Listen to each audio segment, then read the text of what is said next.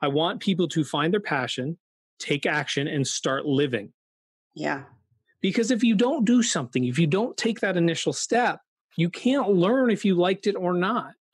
I talked to somebody recently who's a listener of the podcast, and she was trying to figure out if she could create an organization business.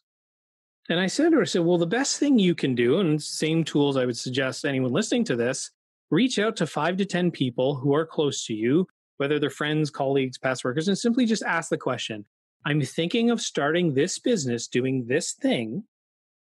I want to get your opinion on it. Do you have time for a coffee or a quick chat? Hmm.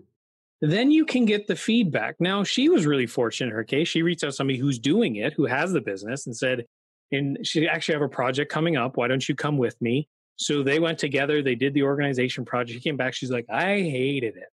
Wow. Right. Wow. But think about the time that that saved her and the pain of like building a website and getting business cards, like doing yeah. Facebook ads. The whole point of that journey is to just do rapid or like mini tests to understand like what are those things that you love and it's a quick thing you can do without setting up a huge business and just move in the directions like, I like that, didn't like that.